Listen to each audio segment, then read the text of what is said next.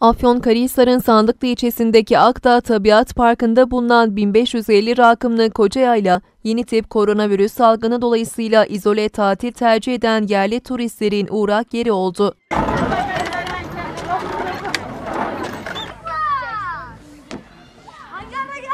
Afyonkarahisar Denizli sınırını belirleyen Akdağ'ın Sandıklı kısmında yer alan Kocayayla, geniş Karaçam Ormanı meşelik alanları ve eşsiz manzarasıyla dikkat çekiyor. Tarım ve Orman Bakanlığı tarafından yapılan yapay gölet, sosyal tesislerle enerjisini güneş panellerinden karşılayan bungalov evler, doğa kamp ve karavan turizmi için Kocayayla'ya giden yerli turistlerin ilgisini çekiyor.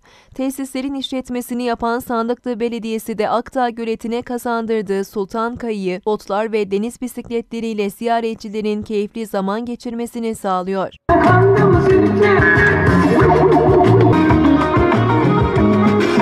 güzel bir atmosferi var buranın. Biz Afyonlu olmamıza rağmen ilk defa geliyoruz.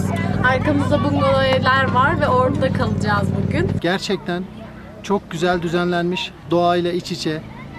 Ee, bu pandemi sürecinde insanların e, doğayla baş başa olmaları, sağlıklı bir ortamda devam etmeleri için hakikaten çok güzel bir ortam. Akdağ Tabiat Parkı sorumlusu Mehmet Miraç Aktürk, Kocayayla'nın günübirlikçilerle yerli ve yabancı turistlerin uğrak yeri olduğunu söyledi. Her geçen sene bir üstüne koyarak gidiyoruz hizmetlerimiz açısından.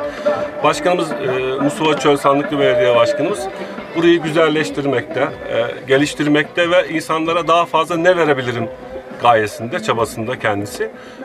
Bu sene Sultan Kayımız, yuvarlak botlarımız, deniz bisikletlerimiz, aynı zamanda e, dağ bisikletleriyle vatandaşlarımıza daha fazla hizmet vermeye başladık. Bunların da çok güzel geri dönüşleri olmaya başladı bizim için.